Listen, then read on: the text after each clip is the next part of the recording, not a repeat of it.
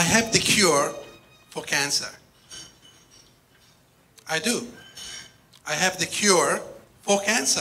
I have the cure for cancer within our health, within our business and careers, and I have the cure for cancer within our relationships.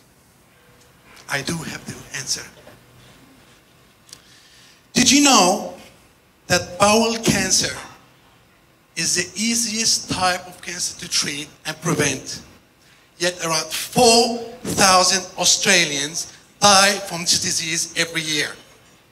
Why? Did you know that on average 260,000 businesses close down in Australia on average every year? And I ask why? Sadly, are the results of one thing. One thing that can be prevented and avoided, and that is complacency. Complacency is a human behavior disease. Complacency is a state of self-satisfaction while unaware there is danger lurking in the background. But the good thing is we can change it. Complacency will kill your health. Complacency will kill your business and career.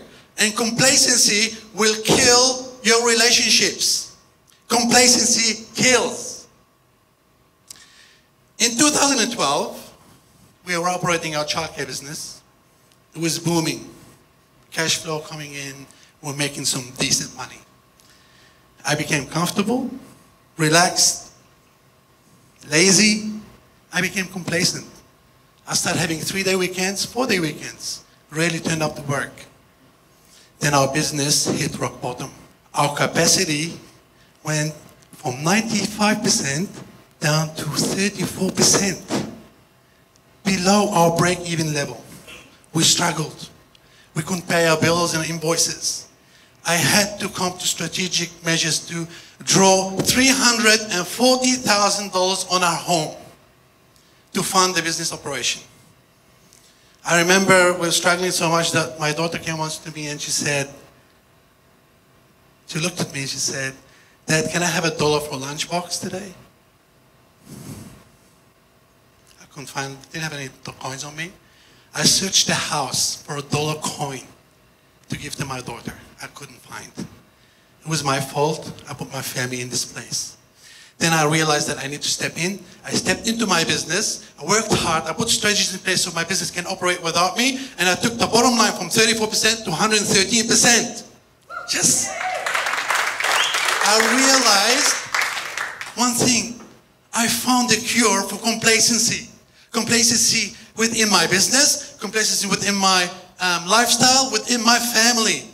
Who in here has done in the last 12 months a general health test or blood test? Who's done a general health test? Good.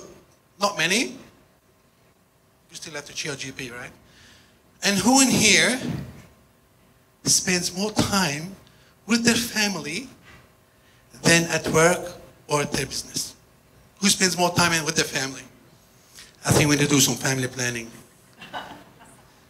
And who in here has done in the last 12 months a business plan or a financial plan for your business or your family?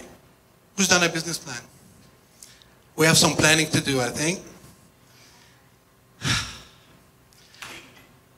You may be complacent, each one of us in here.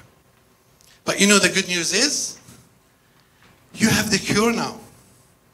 I've just given you the cure for complacency. You can go out there do your business plan, a financial plan for your business and family. Right? Go do your health check and general blood test check. Visit your GP and do that. And please, please,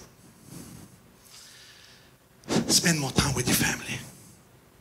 Because you have the cure and complacency kills.